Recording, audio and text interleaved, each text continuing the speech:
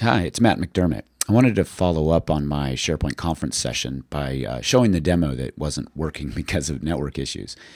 And so uh, it goes something like this I'm inside the Contoso Search Center here, and when uh, our marketing people look for annual legal review, they notice that the uh, that the blog post types that are coming back are not great. So here's the annual legal review meeting, and they don't really like the look and feel of this.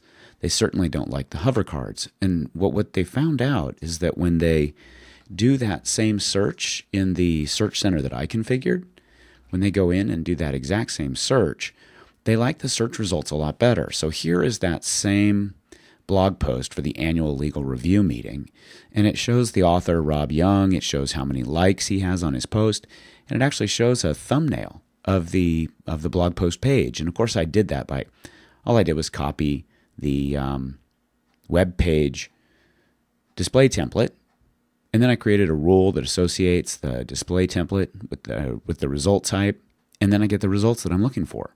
Of course, I added a few managed properties, but you know how to do all that. This is about deployment. So what I need to do is create a display a, um, a deployment package using Design Manager. So I'm going to go into the design manager for my site and I'm going to publish the design manager result files. And so the main thing you need to do is create a design package. I'm going to create 1.2 and I'm going to choose to include the search configuration. Now, I'm not entirely clear on everything that gets included here, but I'm going to show you an alternate way to include the search results. I mean, I'm sorry, the search configuration when you go through and do this. So here we go. So I've got my design package created. I'm going to uh, download it by clicking here. And that's going to download this version. We'll go ahead and save it to my Office 365 settings here. And now what I can do is apply that design package to my Contoso search site. So I'm going to go into site settings. And thanks to the folks in the audience that corrected me that it is under import design package. And here I'm going to browse for that design package and I'm going to open it. So now I'm in the target site collection where I'm doing this. And we'll choose import.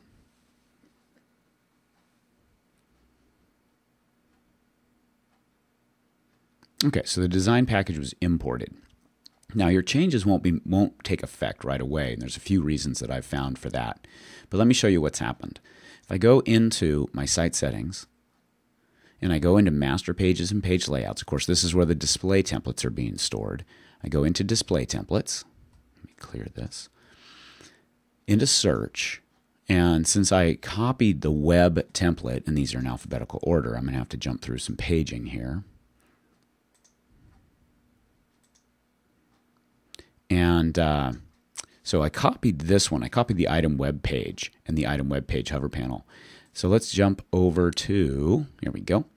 Uh, here's my item web page post. So that's my custom display template. You can see based on the dates that it is the uh, that it's the new display template that got to, that got deployed. So if the search configuration came out the way I expected, I should also see a result type linked to my post. And what I've found is that the result types don't come through. Now let's look at query rules. Did the query rules come through?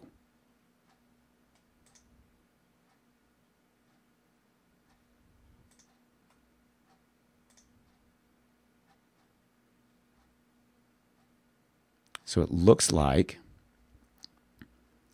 my query rules did not come through either. So not a big deal. Let's go ahead and go back to our source center and let's go into Site Settings, Search Configuration Export, and let's save that to our Office 365 local files. And now I can jump back to query rules and we'll go. So now I'm back in the target. I'm go into site settings and this time I'm going to choose import search configuration.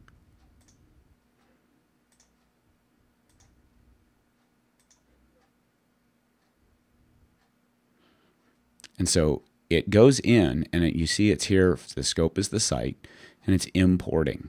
I'm going to refresh and it's imported successfully. So now if I go back to my site settings and I go into my result types, I should now see my blog post result type. So the export of the display templates doesn't always include all of the rules that are needed to do the wiring, but now that I've done that, I've not made any other changes. Let's go ahead and test our results. So we did annual legal review because this was the the one that our folks were complaining about. And here it is. There's Rob Young, two two likes, and we've got our display template deployed that was the demo I was hoping to give you. And uh, we just, just ran out of time trying to do that. So I hope this clarifies how you can deploy both your display templates and your query rules um, and your result, ty- result types along with all of your design assets. Thanks so much. And again, thank you for being such an amazing audience. This is Matt.